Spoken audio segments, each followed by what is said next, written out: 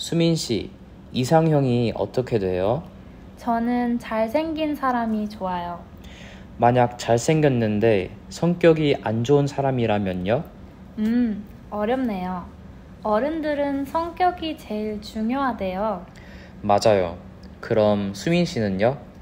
얼굴이 중요하기는 하지만 성격을 먼저 봐야 될 것 같아요. 저도요.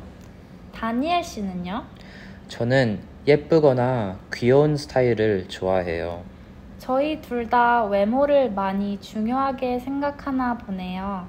그러게요. 다니엘 씨는 좋아하는 사람 있어요? 네, 있어요. 오, 그 사람의 이상형은 뭐예요? 귀엽고 멋있는 사람이래요. 오, 정말요? 네. 그 사람한테 제가 귀엽고 멋있는 사람이라면 정말 좋을 텐데. 모르는 일이죠. 그 사람이 다니엘 씨를 귀엽거나 멋있는 사람이라고 생각할 수도 있어요. 하하, 그러면 정말 좋겠네요. 행운을 빌게요.